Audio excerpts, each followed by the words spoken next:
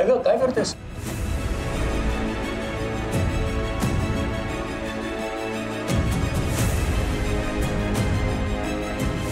अं, दादा आजचा दिवस इथे बस ना. ये. का बरं? असंच. बा. अच्छा.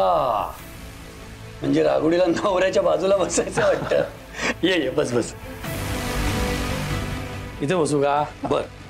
रागुडीची ऑर्डर आहे बाबा बसावं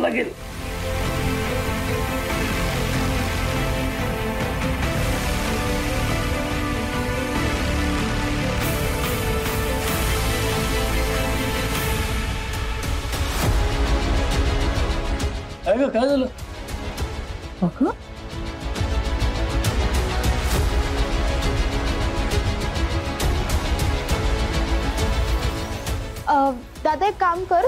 तू होतास ना तिथेच येऊन बस ये. अरे. काय चाललंय रागुडी रागू बसू आता इथे. हम्म. ओके. चला चला जेव.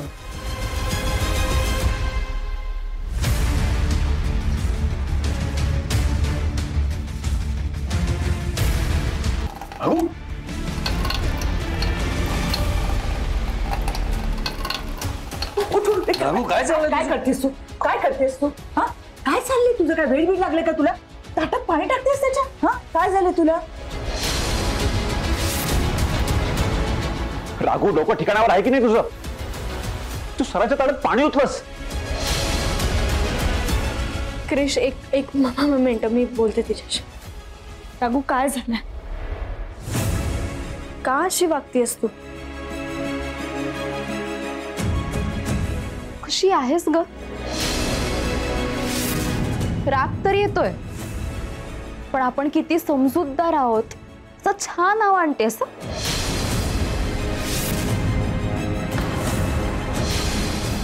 राग येतोय ना माझा? मग बोल ना भांड ना माझ्याशी. राघू काय पद्धत झाली अबोलीशी बोलायची? सर एक एक मिनिट. मी बोलते तिच्याशी.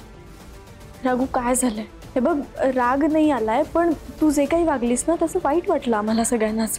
आत्ता झोंबलं तुला?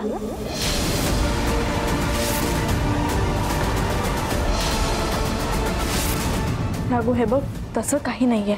आपण सगळेजण आनंदात जेवत होतो ना अचानक तू उठलीस आणि हे असं वागलीस काय झालंय काय राघू? वहिनी तू आज सकाळी माझ्या नवऱ्याचा अपमान का केलास?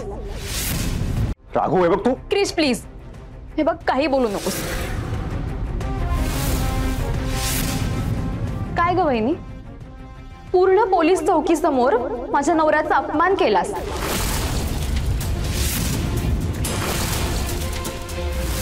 ते चाललं का सगळ्यांना? आणि मी आता दादाच्या ताटात पाणी ओतलं तर सगळ्यांना लगेच राग आला. आणि काय ग काय असं काय केलं होतं कृष्णे? त्या मुलाला आतमध्येच ठेवलं होतं इतकंच ना? वहिनी दादाने ना एका गुन्हेगाराला आणून ठेवलं होतं घरात. दादाने आणलेला माणूस एक मर्डरर होता. त्याचा त्याला पत्ताही नव्हता पण त्याने केलेली ती चूक ती सोडून द्यायची त्याचं काही नाही. पण क्रिश ड्युटी करत असताना त्याची मात्र चूक काढायची. असं वहिनी क्रिश एक जबाबदार ऑफिसर आहे. आजवर त्याच्याकडनं काही चुका झाल्या नाहीयेत. आणि काय ग? एरवी तर क्रिश तुला लागतो ना सगळीकडे मदत करायला. मग जरा काही झालं तर त्याचा मान नाही ठेवायचा. वाटेल मनात येईल ते बोलत सुटायचं त्याला. काय ग वहिनी? तू वकील झालीयस तर सगळ्यांपेक्षा शहाणी झालीयस का?